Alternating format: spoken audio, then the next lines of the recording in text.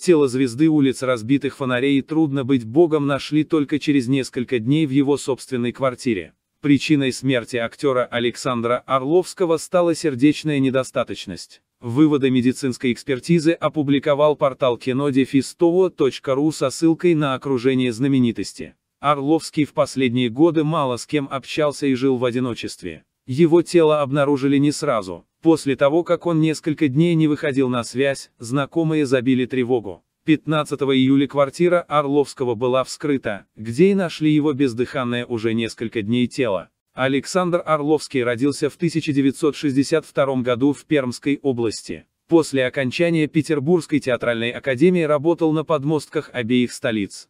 А с 2006 года и до последних дней служил в театре Апарте. В кино Орловского почти 40 ролей, в основном в сериалах, но образ его был всегда запоминающимся, среди которых полковник милиции и начальник главного героя в исполнении Александра Устюгова в нескольких сезонах «Ментовских войн», наркобарон Брызгалов в «Улицах разбитых фонарей», директор учебных заведений Джеральд Каннингем в Азазеле и Пашка в «Трудно быть богом». Информации о прощании